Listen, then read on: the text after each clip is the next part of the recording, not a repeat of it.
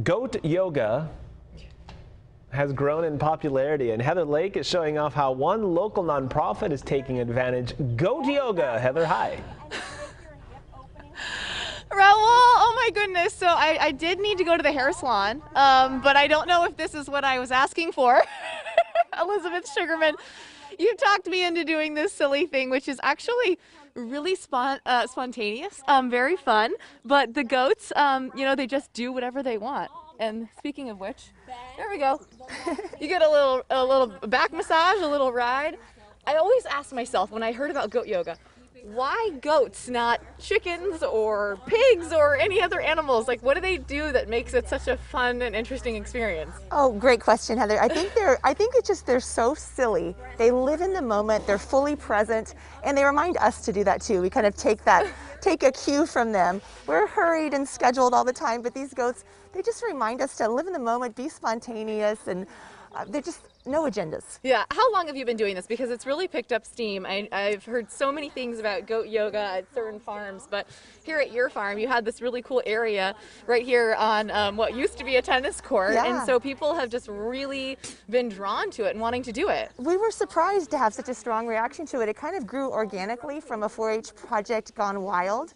My daughter was raising goats, and we invited friends over to try goat yoga when it, we, Yeah. we heard it was a thing three years ago, and we are hi. still going strong. A surprise to us for sure, but uh, really grateful for all that fun. Yeah, I feel like there's um we got the cleanup crew by the way, which Yeah. is you know part of it. Uh, it's you're on a farm.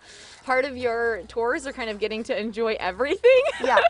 including um, the goats and the animals and the llamas that come along with it. By the way, we have some special guests that I want to talk to, so I'm going to inter- uh, kind of interrupt their yoga class, if you will. So if you haven't heard of the Challenged Athletes Foundation, Nico, I'm going to get you in your your downward dog over here, or we're calling it kid pose today. Um, you guys are with CAF. If people haven't heard about the Challenged Athletes Foundation, you can sit, so you don't have to talk like that, uh, which is fun. Um, tell me a little bit about it, just for people who have never heard of it before. So the Challenged Athletes Foundation was founded in 1994 to help people with permanent physical disabilities lead active lives through sports.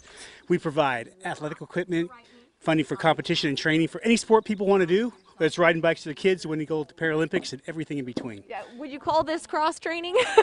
Absolutely. Hey, yoga's a sport. That's one of the things that we support. We actually have one of our challenge athletes here today, Yeah. Danielle McLaughlin. I know, and Danielle's going to chat a little bit while she's holding the cutest baby goat ever.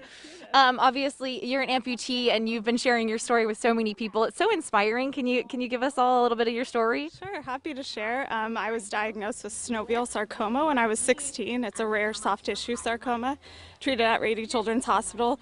Ultimately, lost my left leg after years of being an athlete and a soccer player. Um, and felt really, really lost until I found CAF and um, received a grant for a running leg, and my whole world restarted again Yeah. thanks to CAF. And I know we have a couple of challenged athletes out here today. Uh, you guys are so competitive. I've worked with your organization for so many years in San Diego. What is doing goat yoga like as part of kind of just getting out and doing a different sport? This is unlike anything I've ever done before. I am having a blast. I did not realize how soothing the goats would be. I like their outlook on life. It's a good reminder to just have fun and enjoy yourself. Um, are the llamas cracking you up? Because I can't like not look at the llamas and laugh, and so it just makes me think of when you do yoga.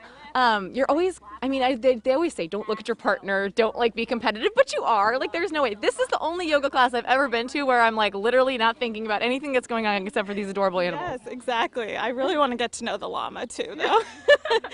All right, well, enjoy that baby goat. So adorable. Thanks for being here um, today and uh, just enjoying a little bit of goat yoga. How do people do this, Elizabeth, if they want to get involved? Is it only on the weekends or what? We, we do hold classes every weekend. We do private events as well, and we sign up on our website, sugarsweetfarm.com.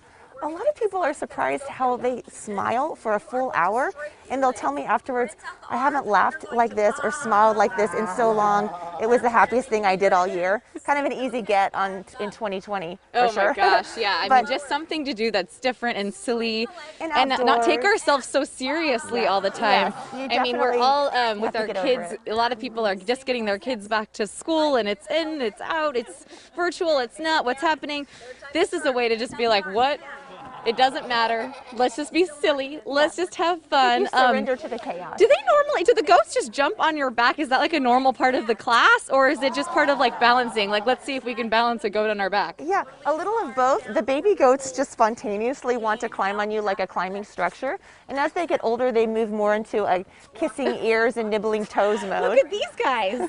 So, what is this? What's happening here? This is just a mama, two mama goats talking about how pretty their babies are. Don't say that about Oh, okay. my I know. baby. I see a couple of them do like some funny, I mean, headbutting things and whatever, but it's like, it's just kind of like, you have to observe what's happening around you. There's so much going on. going on. Oh my goodness. Um, okay, so what are, are we in a, are we in a pose right now? okay. I'll send it back to you guys in the studio. This is probably called, can we do llama pose? Is there a llama pose? The instructor's looking at me like I've never heard of that one. Oh, we're going downward goat. Downward goat. I can't hear you guys. My IFB must have uh, caught out, but Okay. either. Oh, there we go. I hear you now. I Downward now. goat. I can Uh, hear you. Yes. Uh, I love Downward the goats. goat. Yes. Well, you enjoy that. That's goat yoga. Thank you, Heather.